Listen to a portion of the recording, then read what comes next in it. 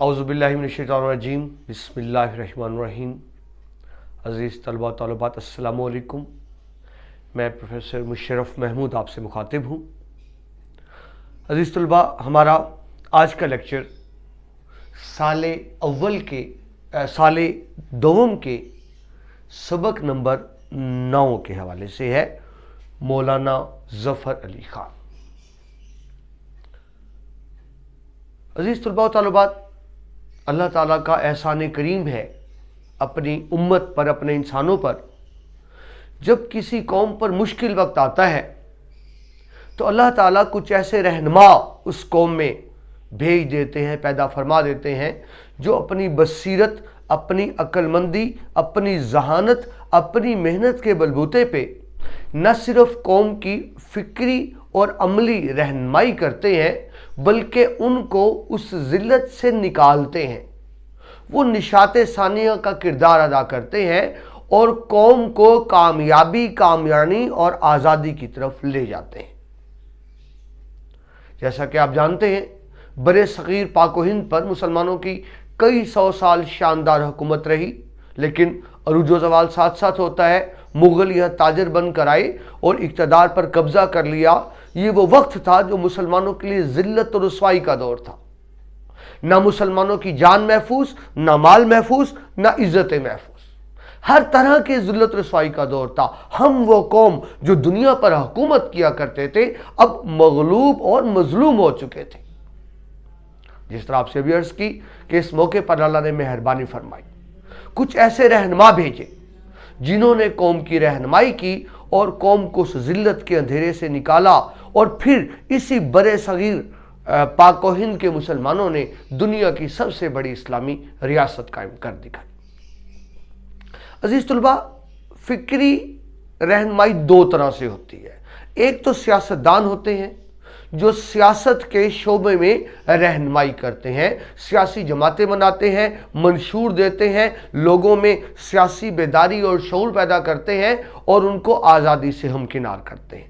لیکن اس کے ساتھ ساتھ ادیب اور شاعر کا بھی بہت بڑا کردار ہوتا ہے۔ شاعر اپنی شاعری کے ذریعے سوئی قوم کو جگاتے ہیں۔ ان میں نیا جذبہ، امنگ، ولولہ پیدا کرتے ہیں۔ ان میں آزادی کی امنگ پیدا کرتے ہیں۔ انہیں آزادی کے لیے تیار کرتے ہیں۔ آزادی کے لیے قربانیاں دینے کے لیے تیار کرتے ہیں۔ تو ایک طرف جہاں سیاستدان اپنا کردار ادا کرتے ہیں قوم کی رہنمائی کے لیے وہاں شاعر ادیب اپنا کردار ادا کرتے ہیں۔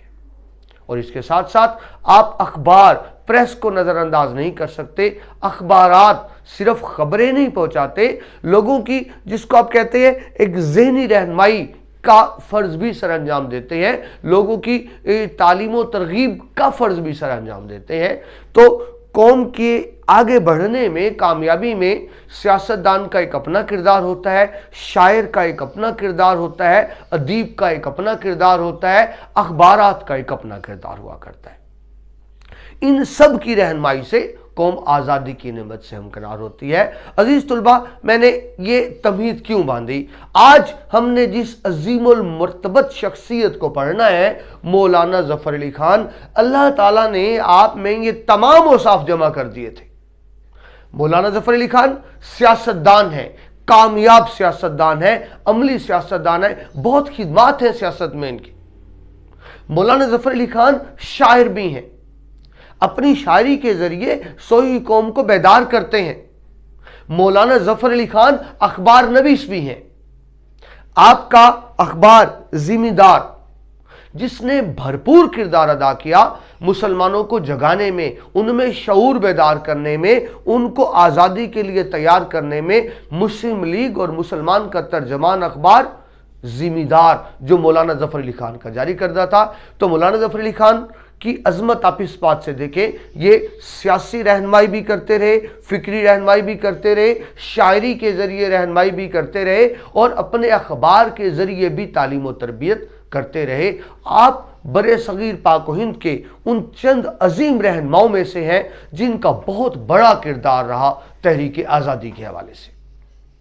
اگر آپ شاعروں کی بات کریں تو وہ شاعر، ایک تو قدیم شاعر تھے نا، جنہوں نے اپنی بری شاعری سے، جس میں صرف محبوب کے لب و رخسار کا ذکر ہے، محبوب کی چال کا ذکر ہے، خود بھی برباد ہوئے، امت کو بھی برباد کیا۔ لیکن ذہن میں رکھیے، ایسے شاعر بھی موجود تھے۔ جنہوں نے اسی شاعری کے ذریعے تبلیغ دین کا کام کیا سوہی قوم کو جگانے کا کام کیا۔ ان میں تین بہت بڑے بڑے نام آتے ہیں، مولانا ظفر علی خان، مولانا الطاف حسین حالی، حضرت علامہ اقبال رحمۃ اللہ علیہ کا۔ اگر آپ سیاستدانوں کی بات کریں تو اس میں بھی جو عظیم ترین نام آتے ہیں، مولانا ظفر علی خان حضرت قائد اعظم، حضرت علامہ اقبال۔ اگر اخبارات کی بات کریں تو تب بھی سب سے بڑا نام مولانا ظفر علی خان کا۔ تو عزیز طلبہ آج ہم اسی عظیم المرتبت شخصیت کے بارے میں پڑھیں گے، جاننے کی کوشش کریں گے کہ مولانا ظفر علی خان کون تھے۔ میں نے آپ کے سامنے ایک شعر لکھا، مت سہل ہمیں جانو، سہل آسان، مت سہل ہمیں جانو، پھرتا ہے فلک برسوں۔ مت سہل ہمیں جانو، پھرتا ہے فلک برسوں۔ تب خاک کے پردے سے انسان نکلتا ہے۔ مولانا وہی عظیم انسان تھے، ایسے انسان جو صدیوں میں پیدا ہوتے ہیں۔ تو یہ تو مولانا کا ایک تعارف تھا۔ اب ہم آتے ہیں آپ کی سب کی ضروریات کی طرف۔ آپ کا عزیز طلبہ سال دوم کا ایک اہم سبق ہے مولانا ظفر علی خان۔ تشریح کے حوالے سے بھی اور خلاصے کے اعتبار سے بھی۔ لیکن آپ نے اس سبق کے تمام لیکچرز کو غور سے سننا ہے، صرف اس لیے نہیں کہ آپ کا اہم نصابی سبق ہے، بلکہ اس لیے کہ آپ اپنے بزرگوں سے، اپنے اسلاف کے کارناموں سے آگاہ ہو سکیں، ان کا مقام مرتبہ جان سکیں، ان کی عدات اور اوصاف کو جان سکیں، تاکہ وہ عادات ہم اپنا کر خود اپنے آپ کو بھی کامیاب بنا سکیں۔ تو اس حوالے سے یہ آپ کا ایک اہم سبق ہے۔ مولانا ظفر علی خان کا اگر تعارف دیکھیں، سبق کے اعتبار سے، آپ کی سب کی ضروریات کے مطابق، تو یہ ذہن میں رکھیے، یہ شخصی خاکہ ہے۔ یعنی صنف ادب کیا ہے؟ خاکہ نگاری۔ تو یہ شخص، خاکہ کیا ہوتا ہے؟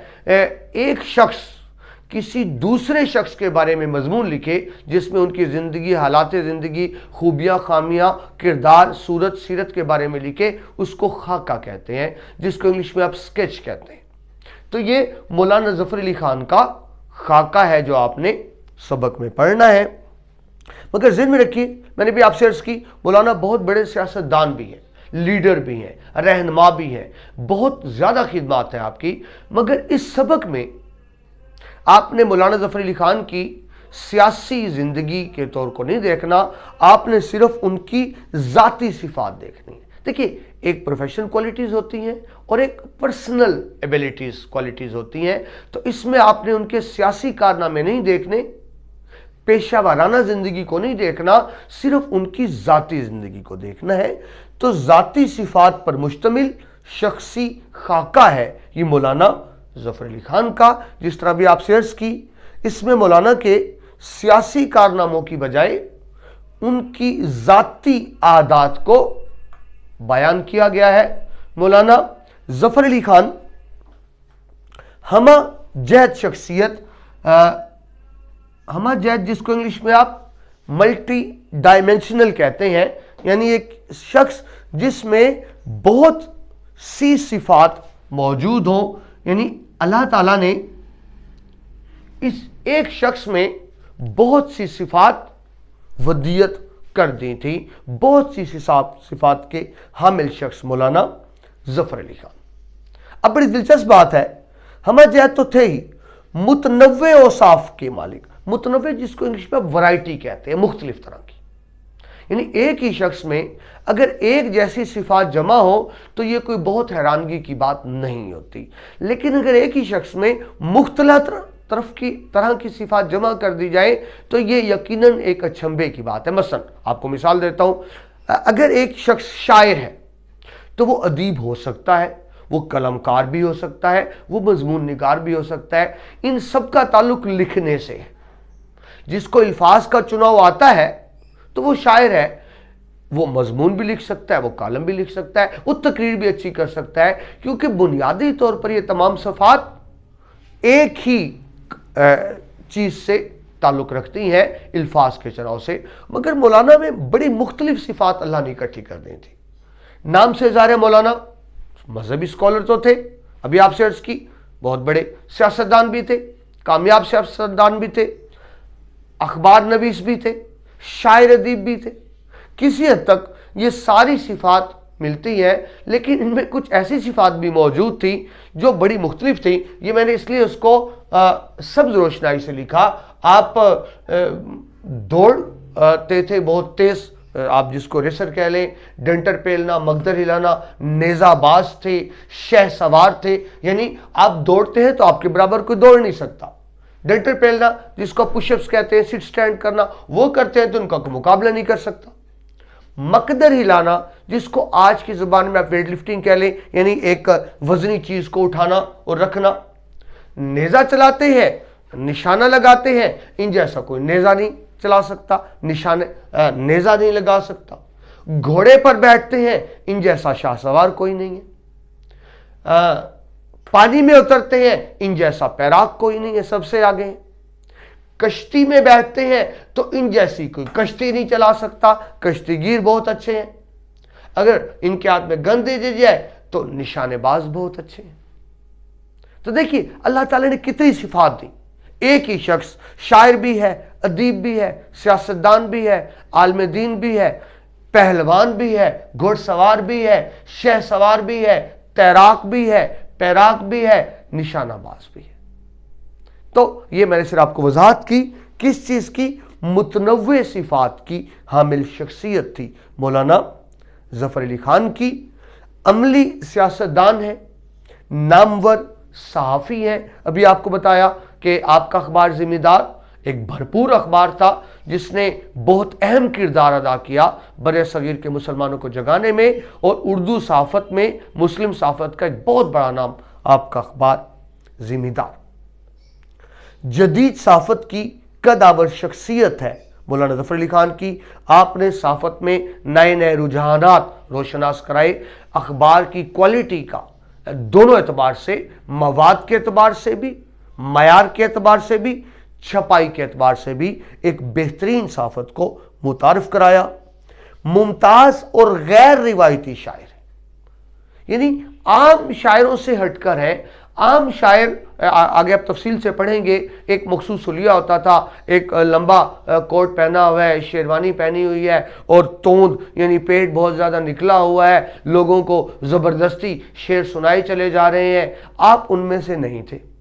آپ بڑے شاعر ہیں، عظیم شاعر ہیں، لیکن آپ سمجھتے تھے، یہ وقت شاعری کا نہیں ہے۔ یہ وقت قوم کی اصلاح کا ہے، قوم کی بہتری کا ہے۔ تو عام شاعروں سے آپ کی سوچ بھی مختلف تھی اور عام شاعروں کا جو حلیہ ہوا کرتا تھا، آپ کا حلیہ بھی ان سے مختلف تھا۔ لہذا ممتاز اور غیر باتی شاعر ہیں۔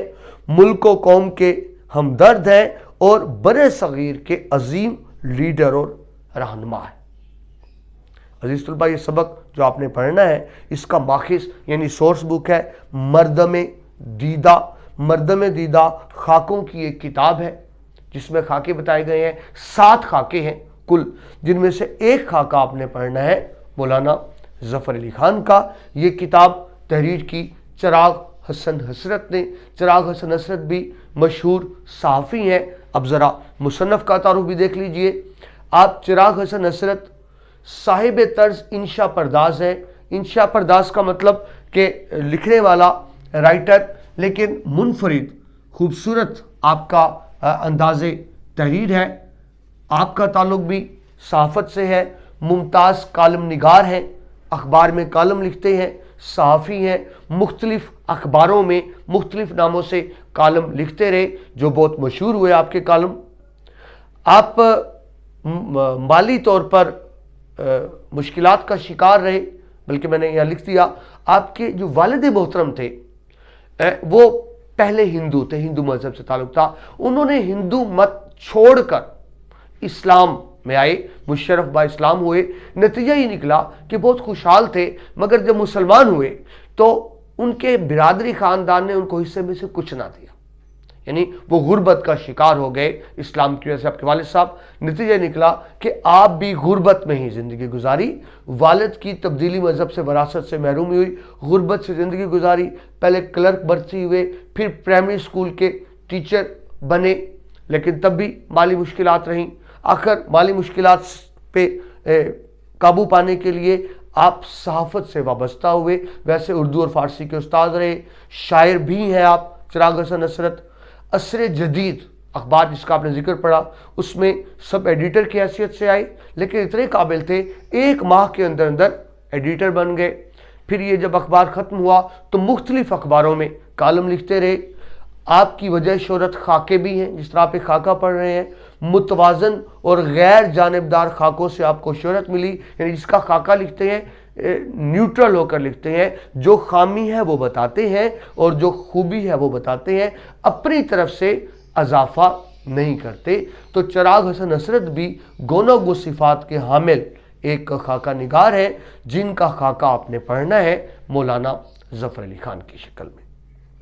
ساتھ ہی عزیز طلبہ دیکھ لیجیے خاکہ نگاری کیا ہوتی ہے۔ ابھی آپ سے ارز کیا، کسی شخص کے حالات زندگی بیان کرنے کو خاکہ کہتے ہیں، جس میں شخصی خوبیوں اور خامیوں کا اظہار کیا جاتا ہے، جو خوبی خامیوں بتائی جاتی ہے جس کا خاکہ بیان کیا جائے، اس کے طرز زندگی کا اجمالی جائزہ لیا جاتا ہے یعنی اوورال ویو لیا جاتا ہے۔ اچھا خاکہ ہوتا ہے جو سچائی پر مشتمل ہو اور غیر جانبدار۔ تو جو آپ نے خاکہ پڑھنا ہے، مولانا ظفر علی خان کا، یہ بھی ایک ایسا ہی خاکہ ہے، خوبصورت خاکہ ہے، جس میں بہت علمیت ہے، ذاتی زندگی پہ مشتمل ایمانداری اور غیر جانبداری سے لکھا ہوا خاکہ۔ یہ تھا عزیز طلبہ پہلا لیکچر جس میں ہم نے مولانا ظفر علی خان کی شخصیت پر روشنی ڈالی، مصنف کے کچھ حالات زندگی دیکھے، خاکہ نگاری کو جانا، باقاعدہ آپ کا یہ جو سبق ہے، یہ تقریباً ساڑھے تین صفات پر مشتمل ہے۔ ہر صفحے کو ہم نے الگ الگ تفصیل سے، اس پہ ہم بحث کریں گے۔ پہلے لیکچر یہاں پر مکمل ہوتا ہے۔ دوسرے لیکچر میں آپ سے دوبارہ ملاقات ہوتی ہے۔ اجازت دیجیے اللہ حافظ۔